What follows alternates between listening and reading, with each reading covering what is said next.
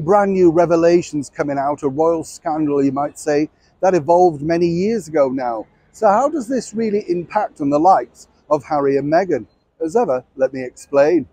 Hi, good morning. Neil Sean here. Nice to see you. And as ever, thank you so much for your company. By the way, lots of people getting in touch about that now snatched kiss.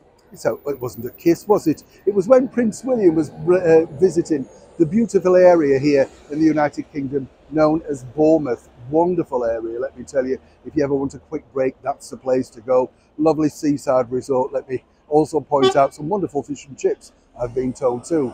Oh, makes you hungry thinking about it, doesn't it? Prince William was there as part of one of his charitable endeavours and bumped into the former footballing legend Paul Gascoigne, affectionately known as Gazza, and of course they embraced. And basically, Prince William wanted to know what he was doing there. Of course, the media make a lot of it, but as someone pointed out to me, and it's interesting, this isn't it? That sort of embrace would never have happened to our late monarch, Queen Elizabeth II. Nobody would have dared, well, he wouldn't have got that close, but nobody would have dared reach out and lean in for a peck.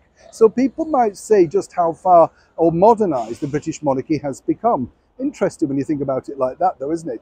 But back as ever to your breaking royal story of the day. These all really centre upon these now infamous tapes that are going to be turned once again into some kind of documentary about the late beautiful Princess Diana. These tapes form the basis of her book, the scandalising sort of book written by Andrew Morton, all of those years ago, which when you think of it, was the very instigation of bringing down, as many people think, the backbone of the monarchy as we knew it. It's hard to imagine in that pre-internet world just what a revelation this was. But as you can see, you know, you have to remember during this particular point again, Princess Diana was rather troubled and really should never have sat down or had these conversations recorded, which she did herself at the bulk of it. But I think what's highlighting this is what's really sort of pointing out, and Prince Harry's done this himself, is just what an unstable person Princess Diana was. There's the bombshell revelations, of course, that Prince Charles allegedly was hoping for a girl upon the arrival of Prince Harry, but that didn't mean he loved him any less, but that's what the media pick up upon.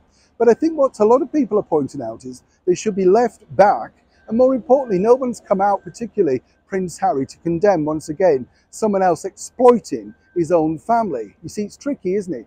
He's continued to exploit his own mother in various guises through his own Netflix documentary. Well, some might suggest he's allowed to. That is, of course, the fact that she is his mother. But nonetheless, when they keep asking for peace to step back and, of course, you know, shall, shall we say, admire their privacy, leave the past alone, if Harry can do it, why not these former journalists? But as one source pointed out to me inside palace walls, if anything, this will highlight, and this is a good point in fact, just how deranged Diana was at that point. point, and more importantly, as this now followed through to Prince Harry. She seemingly believed all the gossip and scandal around her, very similar to Prince Harry with his battle with the press and these alleged mysteries that come towards him. All the while, they crave the spotlight, as does Prince Harry, as you saw recently, coming back to London. So clearly, there are problems inherent between mother and son. But the bottom line is, Harry's still carrying them on. As for Princess Diana's tapes, I'm not suggesting, and I think you'll agree with me on this, that in fact they will get that much of an audience. People have moved on, and everybody's now made their own mind up about, well, the final days, hours, moments, whatever you want to call them, of the late beautiful princess. She was a troubled lady and really should be left in peace. Once again, it would be nice to hear from someone else who's very vocal about pointing out exactly how his life is impacted, all thanks to his late mother's. I'm sure you'll agree. Neil Sean in the very heart of London.